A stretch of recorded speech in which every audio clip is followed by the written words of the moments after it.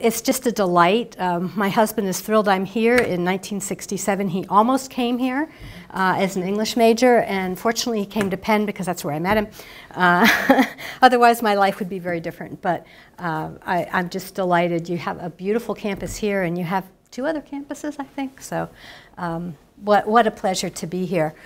Um, I'm going to try to kind of wander through a number of studies and um, talk about this program of research that's been that has been evolving since about um, 2000 when I was a professor at University of Cincinnati, and I need to acknowledge them because that's where I got my start. Um, I think Cincinnati probably is similar to Buffalo in that you have not only a strong research mission, but you also have a, research, a, a regional mission to educate people within your communities, both at the undergraduate and also at the doctoral level. So you, you have kind of multiple competing, you have uh, importance in your community, you have importance in, in, in training high-level scholars, and you also have importance in training people who are going to go out more at the regional level and do the stuff that has to be done. So um, I feel like in some ways I've come home um, because University of Cincinnati is so similar.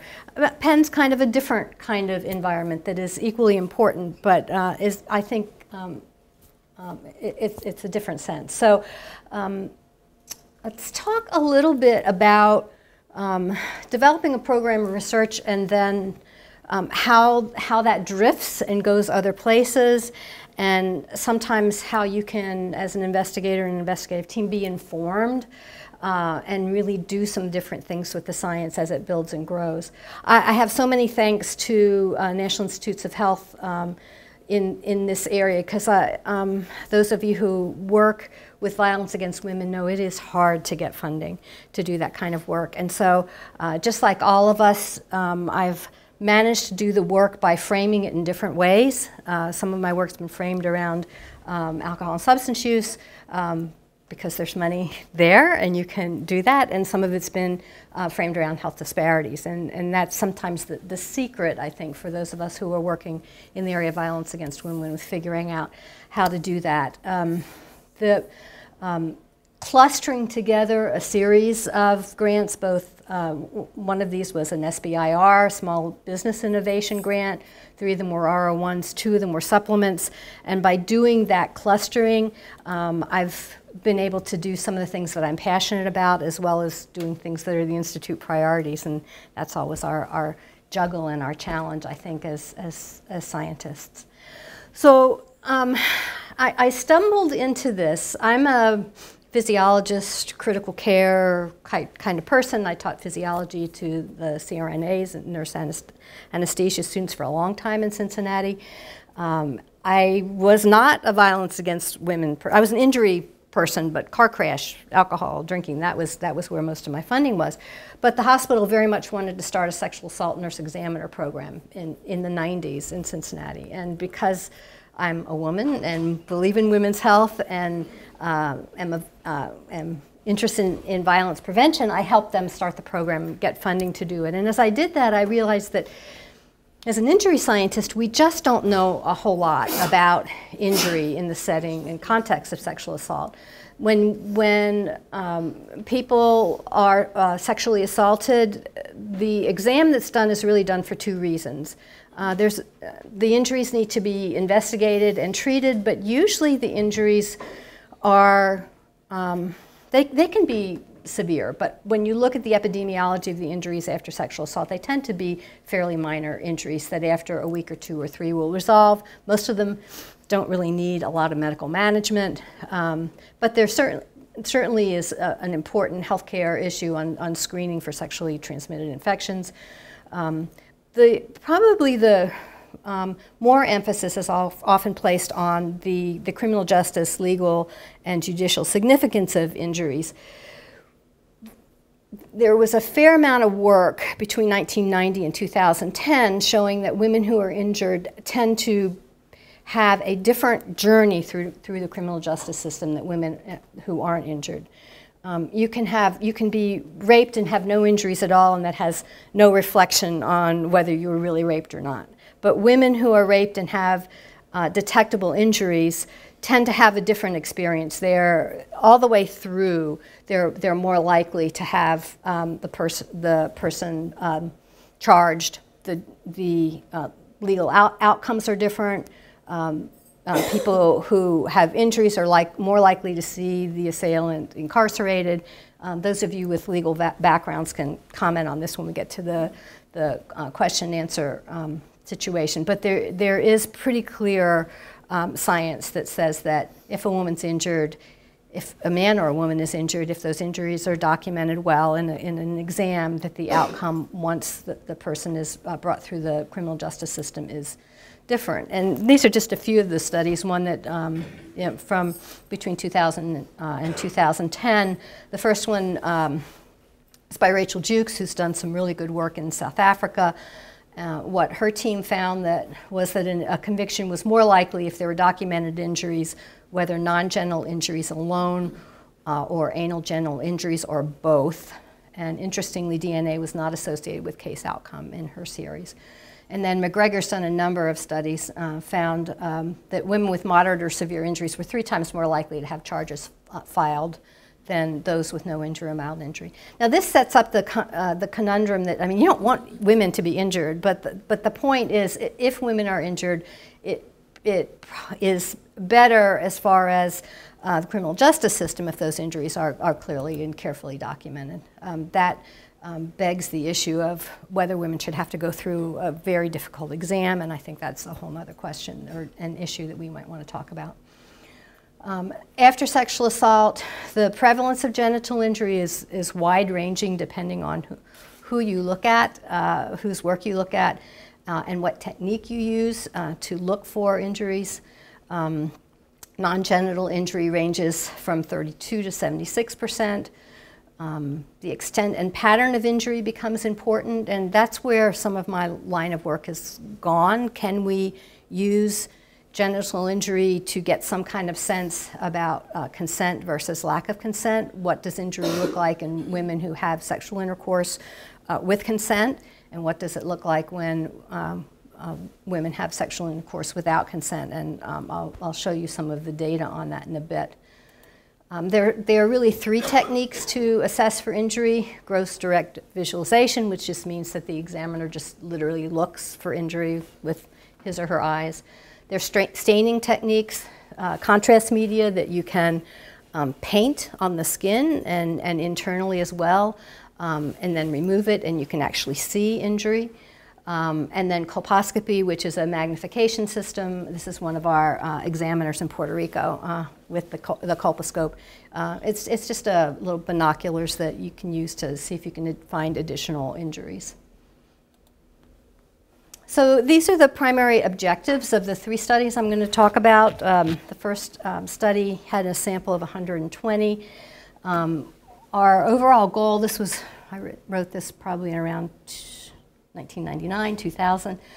What, what we realized when we started the sexual assault program is that there really had not been any work on the, on the sensitivity and specificity of the exam can it really do any prediction as far as uh, consensual versus non-consensual sex? So in this study, we enrolled 120 women, uh, half identified as white and half identified as African American.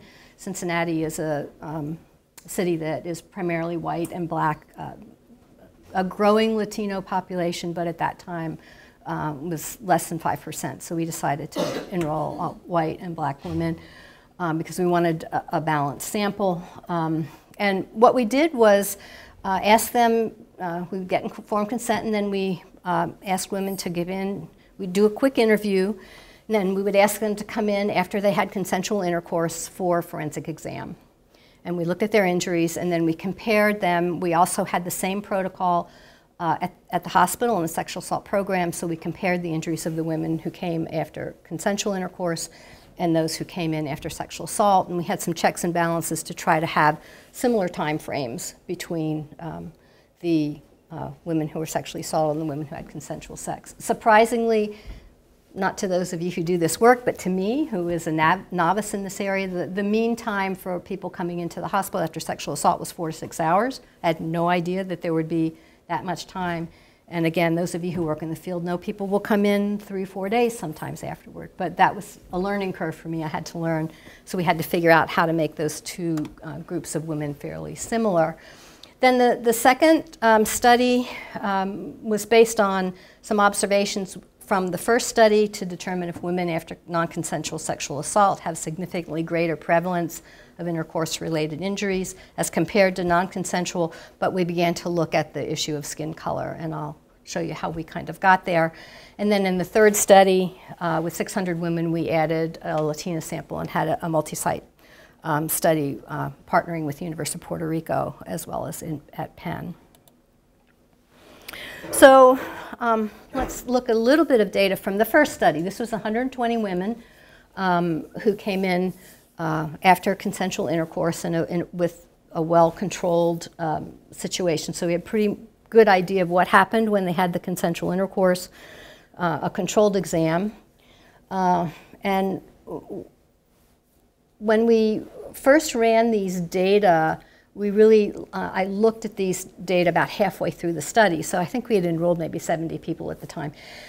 And there was this sharp black-white difference. The, uh, the uh, women who identified as white had uh, a, a, higher injury prevalence, a significantly higher injury prevalence than women who identified as black. And we, we really just did this when we were looking at routine demo demographics. And um, I said to the team, okay, I mean, this just doesn't make sense. Why, why would race ethnicity have anything to do whatsoever about injuries after sexual assault? And um, um, how are we ever going to frame this or talk about possible explanations for this? It just doesn't make sense. Uh, patterns of intercourse shouldn't be all that different. There's nothing anatomic to suggest this. It shouldn't matter how people identified with race ethnicity. And I was really troubled by this and also troubled by reporting this and then making any kind of argument that made sense. So I, I, I what I said to my team is, you know, we're just going to stop here. We're not going to publish this. We're going to stop and we're going to think about this. We're going to take a month or two off, really work it through, because um, I'm not going out there to discuss and speculate, because I didn't like the specul- what would be speculated about that. Just it just didn't make sense.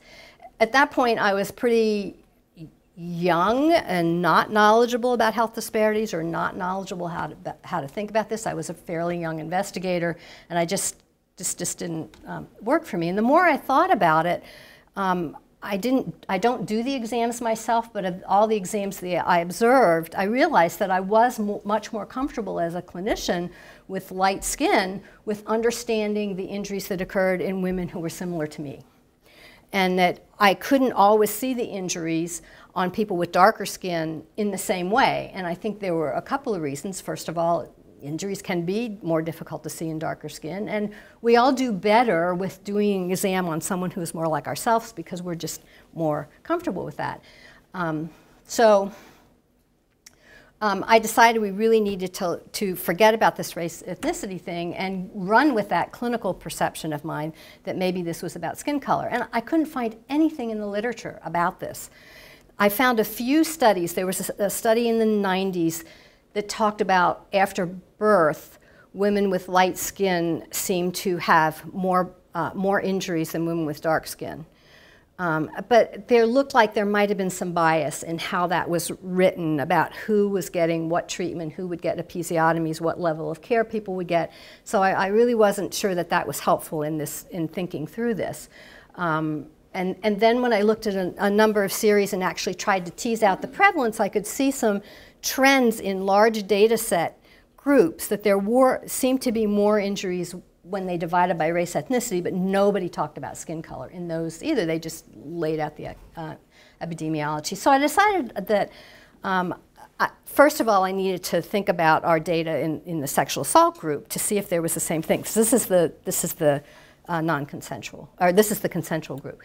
So we pulled the data from our sexual assault group and we matched them. We took 120 women um, and uh, in the sexual assault program, uh, and we looked at older women and younger women, we found the same thing. We found a higher injury prevalence in white women after sexual assault than in black women. So, I, so once I saw that, I thought, okay, there's something here, so let's start exploring how what might be uh, um, explanations um, why this racial difference is occurring when there's really no theoretical reason. And I moved to trying to understand skin color. So I was suddenly in a whole different, I'm an injury scientist, I was in a whole different ball game. Um, and um, again, we stopped data collection in, in, the meantime, and I said, okay, so I, am going to learn everything I can about color analysis, skin color, what because we, we, had been taking digital images of these injuries with the colposcope. So, uh, how, what are the best ways to quantify injury when you're when you have digital images? How can we up, uh, increase our science? Uh, and that landed me just up the road from you. I don't know which way at RIT uh, where they, and thanks to Kodak, who I guess no longer exists, but they have a wonderful color science injury uh, or color science imaging group. And I came here and took some a week coursework and learned everything you always wanted to know about uh, digital image analysis and color science. And what I learned was um, that color, color spaces are uh, um, um, models, theoretical models that look at color in a number of ways. And you have to pick, just like with any science, you have to pick the right color space to match what you're doing. So uh, when you buy your printer cartridges, you buy a cyan, a yellow, and a magenta, right? That's one color space that works well on print media. When you look at your video, you're using the RGB color space, the red, green, blue color space, which is the box at the top there. Those aren't the best color spaces for the kind of work that I was doing because I was trying to assess digital images. And the best way to assess di digital images is what's called uh, the LAB color space, which looks at uh, lightness, darkness, which is the L. It looks at the uh, yellow blue continuum and it looks at the red green continuum. And there are a lot of um, reasons with the physics of light that that's the best color space having to do with the space between the colors. Um, but that was the best way to, to learn. So I had to learn all about the metrics of the LAB color space, hue, chroma, and lightness, so that we could begin to do some qualifications or quantification of, of skin color.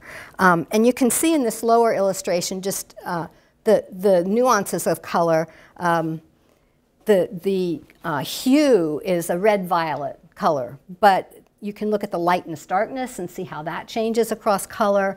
And then you can also look at the chroma, which is the concentration of color. And it goes from not much concentration over to heavily concentrated. So all those can be measured, um, quantified, um, and uh, if you really want to figure out what color someone's skin is. So that's the, that's the model that we used. Um, so our color measurements run uh, from zero, which is black, to 100, which is white. Um, and then the a-axis and the b-axis, the red, green, yellow, blue, uh, is infinite, but when you get to the practicality of measuring it, it usually runs from uh, a positive 240 to a negative 240. So finally we had a system to look at a digital image and actually quantify someone's skin color.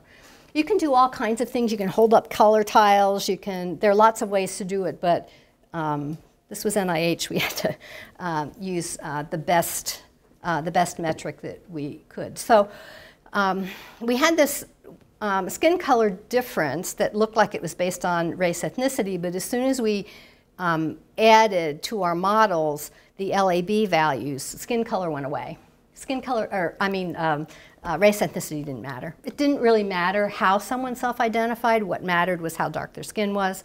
People with dark skin had lower injury prevalence. People with light skin um, had higher injury prevalence.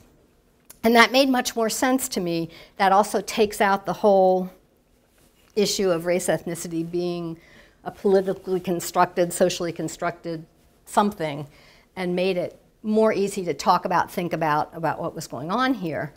Um, and that led me to thinking, okay, what's going on here then? Is skin actually different?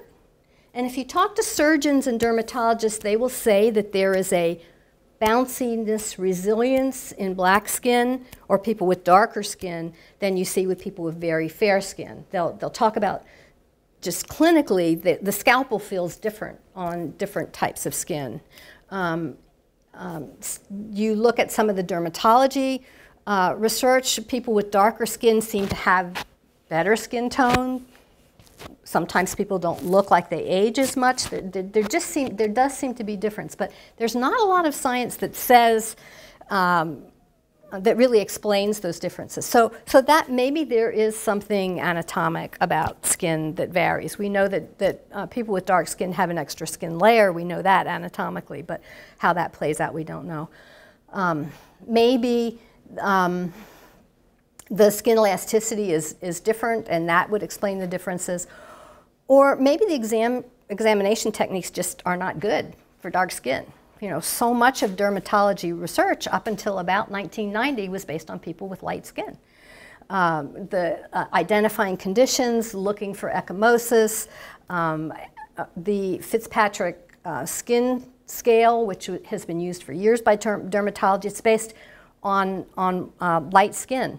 Um, that Fitzpatrick scale has seven components, um, one through six components. One through five are based on uh, people with lighter skin, and then there's this last category that just says black skin.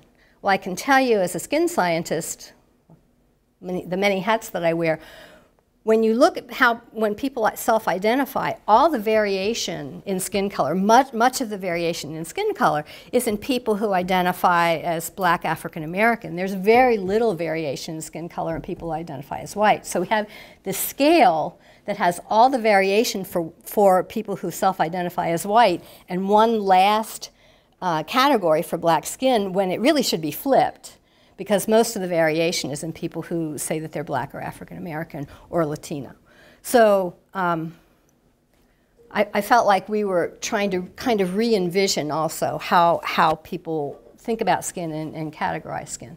So um, by, by thinking about is our, is our exam a problem, is our uh, is skin actually different or is our, or our examiners a problem? Does it really matter who's doing the exam or am I missing you know, is there something else that I'm totally missing? But why is it that uh, people with light skin have more injuries on these exams, both after consensual intercourse and uh, non-consensual intercourse, as compared to people with darker skin? Why does this matter? Well, it matters in the treatment of the injuries, but it really matters in the criminal justice system because if, as I said in the beginning, if, if you don't have as many injuries documented, then your case will not progress in the same way in the, in the criminal justice system. And that's where those differences in criminal justice outcomes are what drove then my concern about health disparities and criminal justice disparities because that means that women with darker skin are not having as many injuries identified and their cases won't move forward. Uh, the prosecutors won't push them forward, et cetera, et cetera. So um, it got us to a very different place than simply trying to look at the sensitivity and specificity of the exam to protect consensual versus non-consensual um, intercourse. Um, so in addition to that, um, I began to think a lot about what else, uh, what else we should be thinking about with these data because we had uh, one study with 120 women and then recently I, I, finished enrolling an additional 600 women after consensual intercourse. And um, it has, it has troubled me about what we ask uh, women to do in these studies because they, um, in our, on our second studies, we do a baseline forensic exam. They have intercourse at a prescribed time. We, we tell them when to have intercourse with their partner, and we kind of work with them about, you know, what's your schedule, when's your partner going to be home, which we have cells that, you know, indicate. Uh, and, and then they come back in, they have another forensic exam and with swabs and all kinds of imaging and whatever. So, you know, we, we really ask the human subject's toll on uh, this group of women is high. Now, you may ask, how do you recruit? We have waiting lists women are like amazing and, and they, have, they have many stories about why they want to come and why they'll have intercourse with their partners at a, at a, set time, but we, we've never had trouble in, enrolling, which is, is pretty amazing. Um, but I got to thinking also about the other consequences and what other contributions we might be able to make besides teasing out this issue of, of criminal justice disparities. Um, and physical injury does have consequences. Um, this is a kind of disturbing um, study by um, Geest in 1988, uh, looking at uh, sexual violence in children, 535 children from 0 to 13 years of age. What they were trying to look at was what kinds of sexually transmitted infections they had after uh, there was child abuse. And you can see a, a fair number of these kids did have um, some kind of sexual um, um, um infection. Um, now, causation, you can't say this is causation because of the sexual assault, uh, because it's screening after the fact. So uh, you don't know at what point, but clearly at some point during their childhood, during sexual abuse, they uh, were exposed to some degree of infection. Um, and in this series, uh, none of the kids had HIV, but this was also done prior to 1988. Uh, um, and there's been a a growing thinking about the role of, of genital injury and HIV transmission, especially as rates of HIV have skyrocketed in women. Um, and there's been a, a, group of scientists that have meeting, been meeting about this. This is from a paper uh, from Jennifer Klot uh, and the Greentree Group, which is the group that's been meeting about this in, in 2012, which, with a really uh, intriguing model that tries to get at HIV risk. But as you can see, one of the issues is genital injury. So I think the whole question of uh, women after sexual assault and their risk of HIV is very strong. Now, it's, it's hard to study because you don't know who's going to be sexually assaulted. So to get any kind of causation is tough. You, you don't have a baseline measurement of, the, of whether they're seropositive or not. But we know that this is uh, potentially one reason why so many uh, women are um, having increased uh, rates of HIV. So I think I was interested in seeing how our data could perhaps inform this discussion. So we, uh, we looked at uh, a longitudinal observational design of our, of our current data from the, six, the series of 600 women. Uh, we, uh, what we looked at was a group of uh, women who were menstruating and not using hormonal birth control women, women who were menstruating using hormonal birth control and then menopause. Um, one of the, the in the, the, model, the previous model that I just showed you, um, one of the thinking is that it matters, a woman, the hormonal environment of the woman matters whether they get HIV or not. And we did find, just in a preliminary looking at our data quickly, that uh, women on birth control pills um, had higher rates of injury. So that's kind of what took me down this route. Um, and then uh, we also looked at menstrual phase to see if that's different because I'm not an HIV researcher, but some of the, the foams and protective birth control devices and are, are, um, are looking at whether at one point in the woman's cycle people were at more risk and should they uh, use more caution depending on where they are in their uh, menstrual cycle when they have intercourse at, at any point. Um, and what we found was that women using hormonal birth control had a 38 uh, percent, uh, uh, more uh, external genital injuries. So maybe that's the case. Maybe people on birth control pills are more at risk for HIV. And in looking at large community samples, when you're trying to initiate um, HIV prevention in large groups, maybe that's something people ought to think about with um, who's being put on um, uh, hormonal birth control and who's not uh, menopausal women had three times the amount of uh, anal injuries. And among menstrual women, it seemed that the follicular phase was the, the phase that uh, placed women at most um, risk for injuries. So that work is really just starting to, to look at how our data, how important our data are to uh, trying to figure out some of this HIV uh, uh, risk exposure. And then another area that we've been working on is, is, is, the, is the forensic exam really appropriate across the continuum of skin color? Does it, uh, is it really set up to advantage people with light skin and disadvantage people with dark skin? Um, those of you who have seen the exam, the contrast media that's used to highlight the injuries is, is toluidine blue in most sexual assault programs. It's a navy blue color.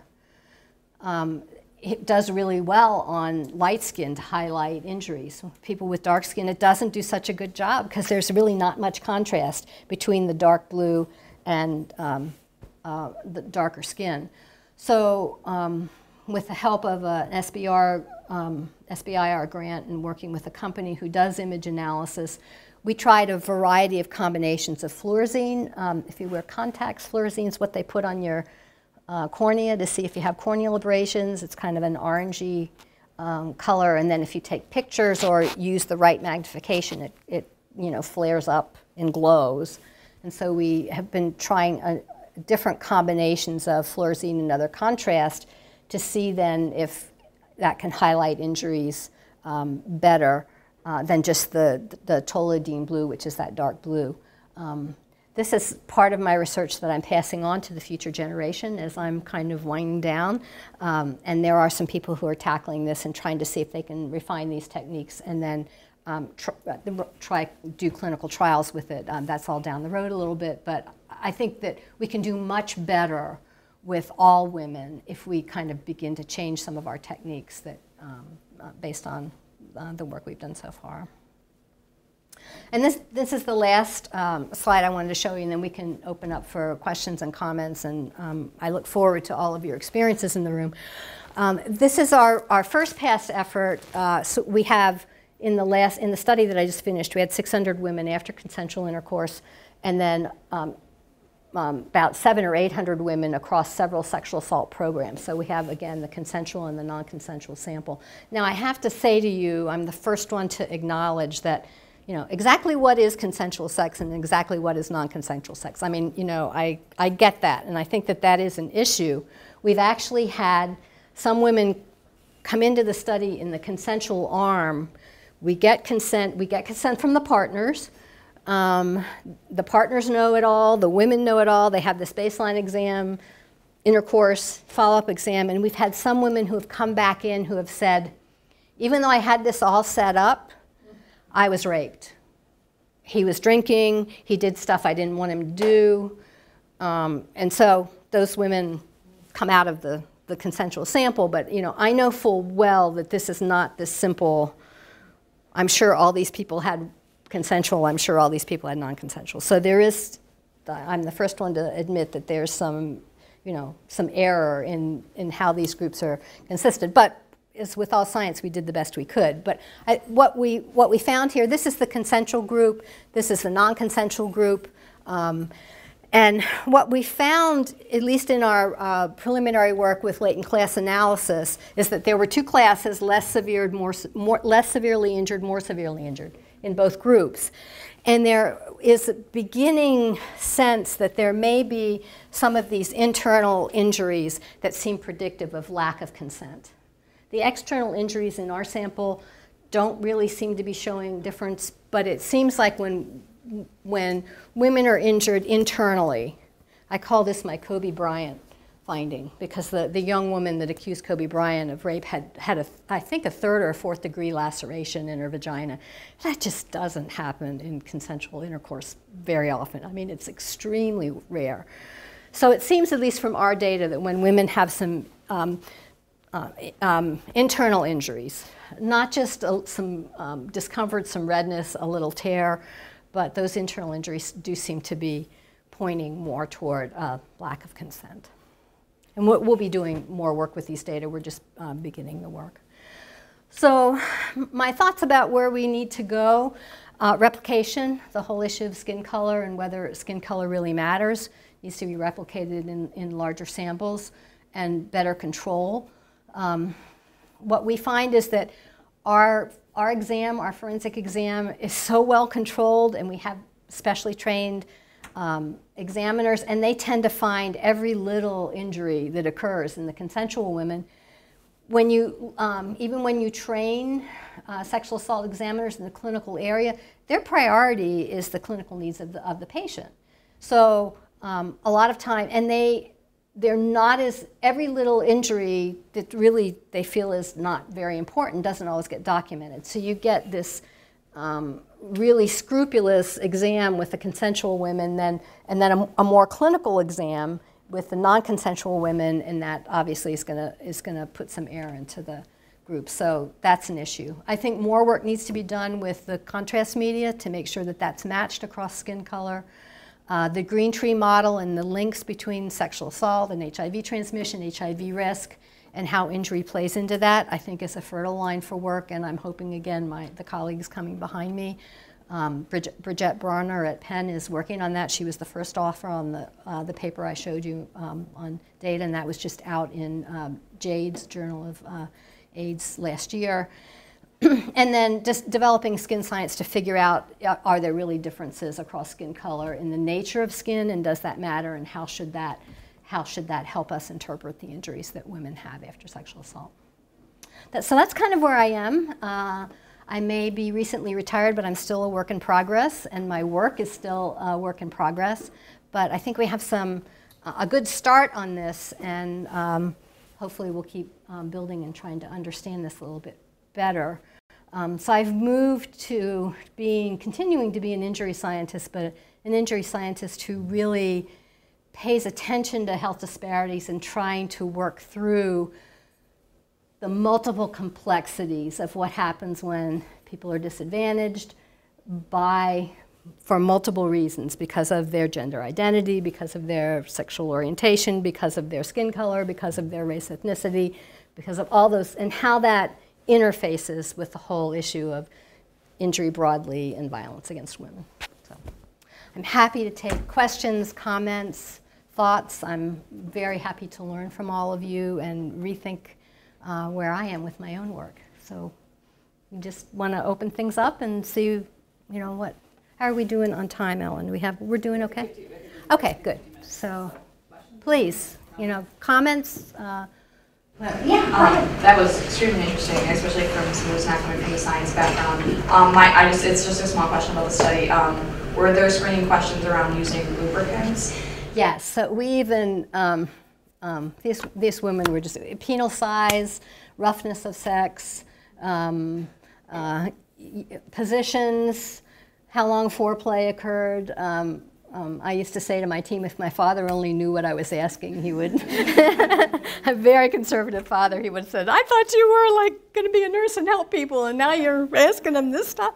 Um, so we had a lot of help um, with our instrument development with uh, a number of people who have done um, um, sexual behaviors kinds of things. I think that's one of my take-home messages. You know, consultants, other scientists. Oh my goodness, thank you so much. You know, because you, your questions lead you to other questions, and you don't have the expertise to answer those questions. And thank goodness scientists are a wonderful community that help each other out and say, yeah, I can help you with that. I can teach you something that you know absolutely nothing about, so you can take your next step. So, so we did a lot of control of that.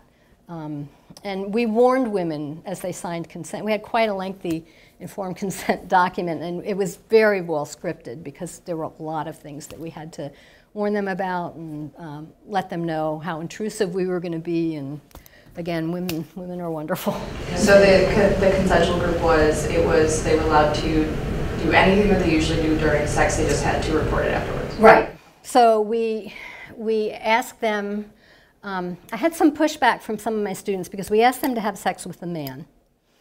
And we had a lot of dialogue about this. Um, sexual assault is primarily a man on woman issue, but same sex couples have sexual assault. We looked at the literature, and especially with women having sex with women, it's more apt, the injuries that occur are less likely to be anogenital and more likely to be about the head and the face, the shoulders. And we decided, at least in this beginning, we would be having women who have women who had sex with men. Now, many of the women had different sexual patterns, different partners, but for this study, it was an, uh, an inclusion that they needed to agree to have sex with man. Um, we, we had some women who hadn't had sex with a man for quite some time but wanted to be in the study and had sex with a man. So uh, we thought about how that might, but we, you know, if they wanted to be in this, you know, and at this, point, you know, if they wanted to be in the study, they, we were grateful and, you know, we, yeah. So it was, uh, we, we tried to think about that carefully. I, I think we made the right decision this time out, but more work needs to be done in people who have sex with multiple people and how that plays out, because that's really important. There's nothing out there on that, and that, that's an important area somebody up here. Yes, go ahead. Um, were the people whose female partners were enrolled in this study, like, were they given the results of that day's exam too? Like, the, the men? Yes, and or, no. or, or were the women themselves given the results of that day's exam? Because I yes. wonder how much talk goes into that. Like after the first time, like, well, I had these injuries, and he's like, oh crap, you know. and, then, and then the next time, they, they alter their patterns or not alter their patterns, given, on, like, given what they found. Right, good question. So um, the, the men were, sorry, the men were simply vehicles to have intercourse with, and they, they agreed, but that's all they got. You know, they didn't get compensation, they just, we got consent. So, so the women got all the information, so, and the women were the ones that were, were compensated. And we paid them well. I think overall, through, if they went through all steps, they got about $300, so, uh, or three, 350 actually, which they absolutely deserved. You go through a, you know, a forensic exam, you know, uh, we got some pushback from NIH, but not much about the compensation. I would have liked to give them even more. I'm sorry? I know. Well, so where, where, where's our attorney? So we called, we called the Philadelphia prosecu- the, the Philadelphia, whatever the offices that do violence against women, whatever. We said, okay, can we do this? Are you going to arrest? I could see the headlines: Penn professor arrested for pandering. Right? okay. She said your consent. She said yes. You know that could happen. So she said your consent documents need to be very clear. You're paying them for the exam. You are not paying them to have sexual intercourse. You are paying, and as long as you do that, I won't take you to court. So we were really careful. We worked. I, I, I called the IRB and said, okay, just make sure when this is reviewed, this is what we're trying to do. So if there's any question, these women, are, and so we worded things very carefully. And women, they could watch. They could watch on colposcopy. They could look at the digital images if they wanted. Um, so we talked them through uh, what we found. Um, so the women had all the data, and we didn't tell the men anything. We felt like it was the woman's exam. If she wanted to share it, she could. No, but I'm saying, I wonder if she would go back to her partner. I don't know. That's a really good question. Um, maybe, maybe, yeah. We didn't have anybody with terrible injuries, but we had someone with eight, ten injuries after consensual intercourse. Yes. Two questions. One is um, if you noted any other demographic change, um, differences. And then the other question was, has the work penetrated the courtroom? So good questions. Um, I noticed in at Penn that our uh, people who identified as uh, in as some kind of group that was not white, whatever. and I have trouble with those categories, but we have you have to do something when you work with NIH. So our, our white sample was primarily people from on campus, research assistants. We had physicians, we had, you know, all kinds of people who wanted to be in the study. Our non-white sample tended to be more community. And the West Philadelphia community is a community that is very diverse uh, economically. The Penn community is less diverse economically. So uh, that piece is in there. I, we haven't really seen anything yet when you look at the data that that mattered, but th- that was the one thing that I noticed. And I, if I did this again, I might stratify on SES because we didn't this time. And I think that's probably important because what your nutrition is like then is your skin is more fragile if your nutrition's not good, if you don't you know have adequate access, if you're sharing bathrooms, if you if you don't you know if there are multiple people living together. Those those things might make a difference as far as your hygiene and then whether you're going to get injured or not. And we didn't we didn't have any control over that. And tell me what your second question Um, was. Has the work penetrated the courtroom? so um, there is a a um, organization. I think it's national. You'll need to is I, AEquitas AEquitas. It's pro, a prosecutor organization, an- uh, and um, um, Chris Mallios was is is a he's now a judge in Philly, but he was working with them nationally, and he has shared this with them, and it's certainly out there in the literature. But one of our folks with uh, legal and criminal justice background would have to tell me how much how much dissemination's been done. But I know Chris has done a lot at the national level about the skin color difference and how how it might impact. I haven't really heard anything through Family Justice Center, which is the domestic violence uh, organization here, but I'm definitely going to take it back and see that how prevalent this could be right here in, in Buffalo. Yeah. Um, the other piece that I know, the, the sexual assault guidelines now that comes out from NIJ, National Institute of Justice, does talk about skin color. Uh, just with, because it, it provides information on dye, the dyes, the contrast medias, and, the, and, the, and they do talk about the need to Um, so that's a good start. I mean, that means, okay, we're, but you know, it says what? You do a study and then 10 years later, if it's in practice, you're lucky. But I think there is a growing awareness that we just have to be careful what we think we're seeing, especially with this disparity.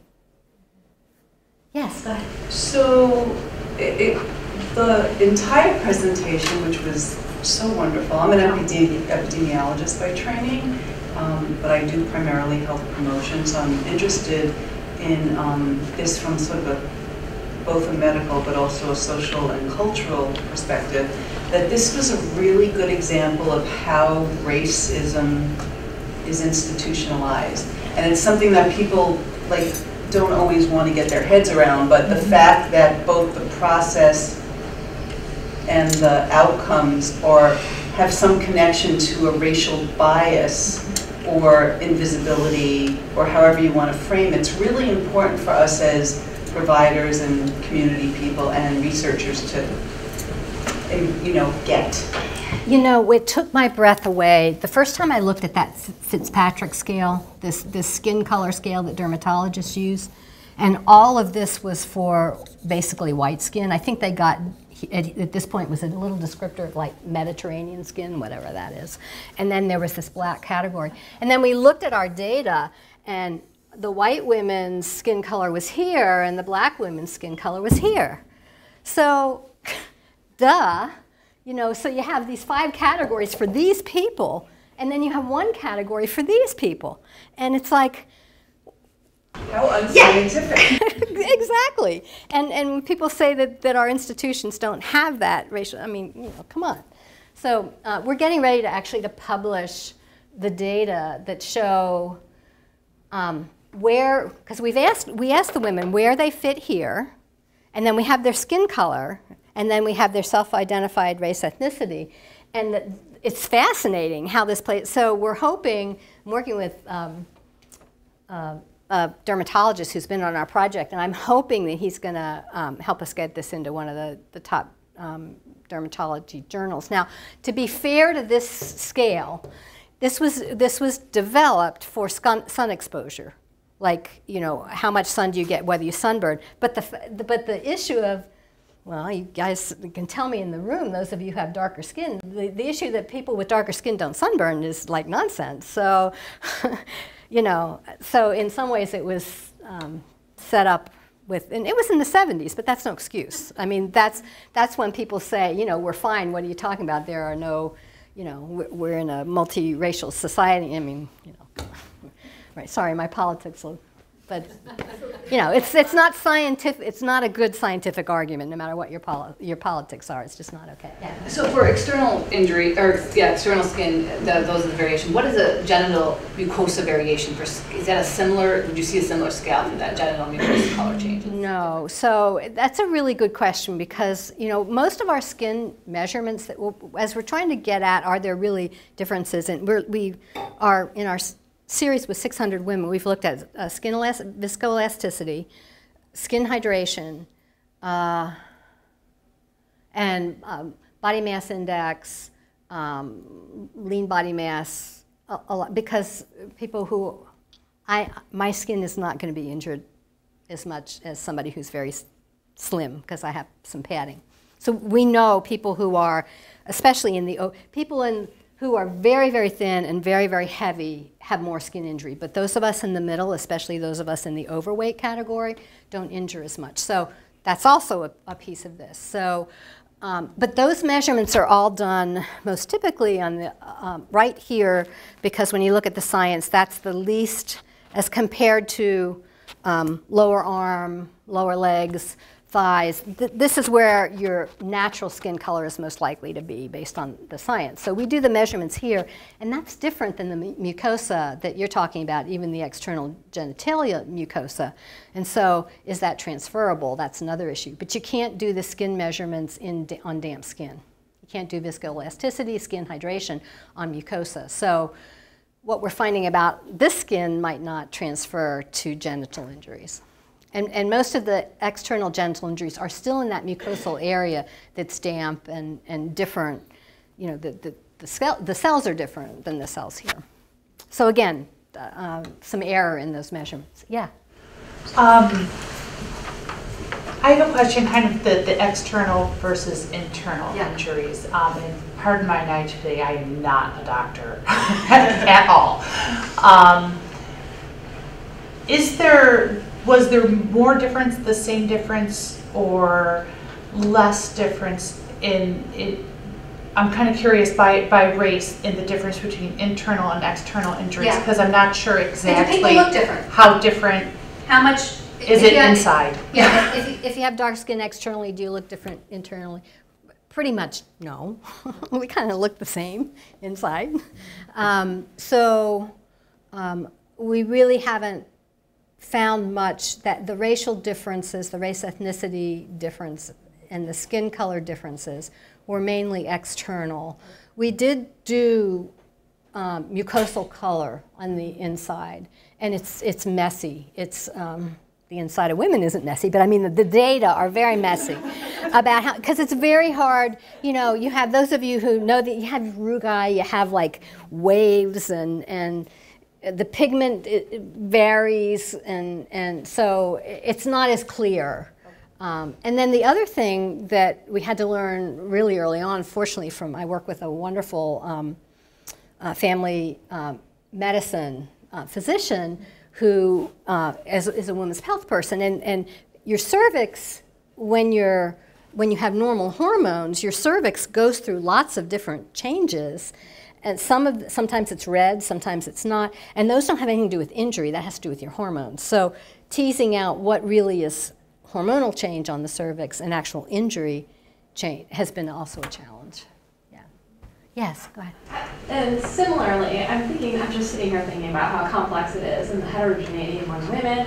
And I was wondering at the beginning of your talk what your age range of women in your studies were, because one of your small findings that you alluded to um, regarding menstrual cycles and hormonal um, issues was that meant that um, menopausal women were at higher risk for anal injury. And I was wondering if you had any conjectures about that and Yeah. about like how these this would also differ by age. Like I wondered if demographics in terms of age. um, Yeah, so we had we had all the way up to 70 and 80 year old women, which I, I just like I said I love women. I just love you know like you know we had a woman uh, a woman who came in in her wheelchair and we had to specially rig the um, the table to make her comfortable during the exam. I mean you know just women are, are wonderful. So we, we there are we definitely have seen some age differences in our data, and I think that's probably the estrogen effect. That as women don't have estrogen on board, they tear more easily, uh, and when they're older, they're more likely to have hormone uh, um, hemorrhoids.